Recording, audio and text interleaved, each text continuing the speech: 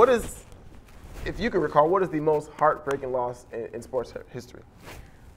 Let me give you not heartbreaking loss. Heartbreaking loss is because I'm gonna go to a particular franchise, the Buffalo Bills. Mm.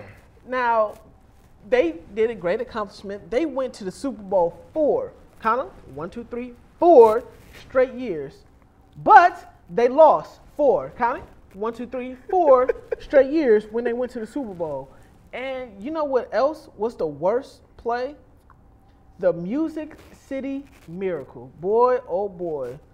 Frank Wycheck to Kevin Dyson for the for that touchdown. I, I thought I worse. Worse. I like it. Uh, he's bringing in some other folks in there. I'm gonna speak on one. You know, homegrown, kind of, not really, but we are here.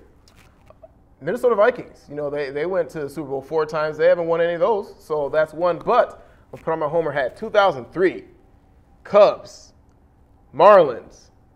The Cubs are four outs from eliminating the Marlins, and Steve Bartman gets in the way of a baseball that Moises Alou was for sure going to catch. What happens? They're up 3-0. They're up 3-2 in the series. Uh, the Marlins just go on and score eight scores that inning, and uh, they end up losing, and now they're back. So, Bartman, that was very that that hurt. That hurt.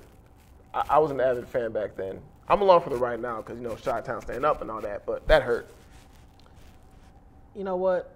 I feel your pain, Ty. I'm not falling for it. I'm not dumb. I'm not dumb. Worst. You're an awful friend. No, I'm absolutely the worst friend possible because, I mean, that's what Chicago is going through right now. Because they're losing to the Mets and they will not win that series moving forward to go to the World Series.